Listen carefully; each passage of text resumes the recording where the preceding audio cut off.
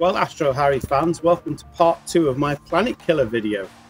And as you can see, it's absolutely glorious. It's 22 degrees at the moment. Um, and the skies are a lovely azure colour, which is always a good sign. So I think we're in for a good night of, uh, um, of astronomy. My only slight concern is it might get a bit foggy, a bit hazy. But that's because I live near the sea. But apart from that, should be fine. So let's see what we can do with the new beast and let's see how it performs. I will be honest, I've already had it out once, but I only had it out for a little bit. So I've already gone through a couple of the things, but I'll repeat the steps tonight. So at least you know that you can see what I'm going through. But let's see how the Bresser does and let's see how the Sky does. So as you can see, the telescope fits perfectly onto the SLT mount without any adjustments at all, which is good news. And it's often easy to do this, but up goes up, down goes down. Often easy with these mounts to put the telescope on upside down. Been there, done that. So that's the good things. The only problem is, is the finder scope's on the sort of at a funny angle, but we'll deal with that. So this is it with the eyepiece in and the finder scope in. Um, pretty simple to use, and I don't know if I can show you. We should see a bit of a tree. There we go. Well, you got it for about a second. There you are. So all good. Now, as you can see with the red dot, I'll try and put it against something black. No matter if I move the camera around, the red dot stays in the same place on the Celestron finder. Now, if I do the same thing with our friend from uh, Bresser, when I move the camera around, as you can see, that red dot is moving about a lot more and it seems to be missing some sort of secondary optics. So for now, I'm afraid this is just trash. There's a way I can get around it, and I also may be able to cannibalize. Um, I've got a couple of these, so I may be able to cannibalize one and do something with it. But as you see, that stays perfectly still. I mean, it moves because I move, but that's dot staying still. Whereas with the with the Bresser, that dot's moving all over the place. So let's see what we can do about that. So I'm here out, my first night, got all the gear, So let's see how this goes. How exciting. So I've got everything set up. Um, so there's my telescope, it's on my mount, uh, and I've got it connected to the laptop. And uh, I believe I have a moon. Let's just see if I can just capture this with my uh, my camera. So yes, there's definitely a moon in there. Um, as you can see, there's loads of trees in the way. But yeah, so far so good. Let's crack on. So I've got my Astrocam set up inside the telescope and it's capturing images and as you can see there's the moon. So that has gone really well, nice and slick. Um, absolutely no issues whatsoever. This has been brilliant so far. So there we go. That's the moon. Let's try and see if we can do some other objects and get the scope aligned as well. So I've got the Astrocam on and obviously it's out of focus. The first thing you'll notice is how you get a, a pure ring with the, the newts. You get all these sort of effects. So that's quite nice. So I'm just to have a go at zooming this, uh, of focusing this. I've got it set to a really high gain, so that's not going to be brilliant. So just get the uh, get it done. So I've got some there, so we can sort of see Jupiter and some moons, and then let's step back the exposure let's get it to 15th of a second and then let's get the gain down. So you can see there's a bit of fuzziness and that's not the optics. That is because of the um, the, the, the, weather that we're having today. So um, with a lot of high cloud and everything else like that. So that's cool. Um, I also need to get ASCOM sorted because I had a bit of a disaster. But that's not your problem. An IT disaster. So there we go. So there's our sort of image of Jupiter. As you can see, it's quite grainy. Um, so I'm going to uh, reduce the gain. that's a bit better, isn't it? So that's not bad. Um, that's not a bad image at all of Jupiter for, for what I'm used to. But as I say, the seeing is awful.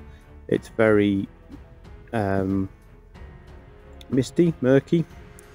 Whatever you want to call it. So um, so I'm going to go with that and say I'm quite okay with that. I'm going to 100% it just to give you a chance to have a, a decent view.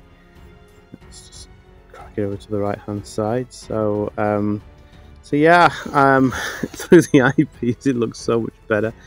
But um, you know what can you do? What can you do when the when the seeing's horrible and it's all misty and everything else like that? Um, I'm just going to knock the gain down a bit as well. Yeah, if that makes any difference. And of course it doesn't. So you do what you can. So so so far so good. I think I probably need to have a, a proper clear night to do this with, so that you guys can have a have a really good look at this because um, through the eyepiece it just looks amazing, but with all the sort of cloud and everything, bit of a problem. So I've uh, adjusted a few settings um, which would make it a little bit clearer and as you can see that's our Jupiter. So this is just native, there's, there's no Barlows, there's no fancy stuff going on. I've just used the cropped area just to increase the frame rate and make it, and as you can see that's a really nice, um, that's a really nice Jupiter that.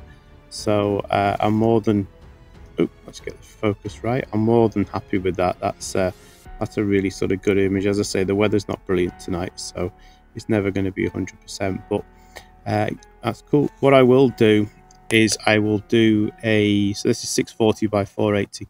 I will do a comparison with the 130, with the uh, Celestron 130, so you can sort of get an idea of the um, the sort of difference in scale and size and quality and everything like that. Bro. So here's the uh, composite of the object Jupiter through the two different telescopes. So on the left is the 127 and then on the right is my Celestron SLT 130 and you can clearly see a difference in scale uh, a major major difference. So as far as planet killing concerns that's tick. Um, as, as I've said a couple of times the seeing was pretty poor.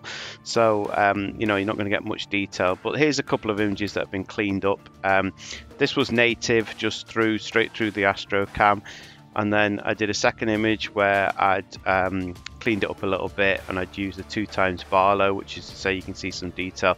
And then this final image was using a five times Barlow which is complete and utter overkill but I managed to capture the uh, the shadow of Europa the top right hand corner. So yeah I did some uh, DSOs as well. Um, this is the best of it M57 Ring Nebula.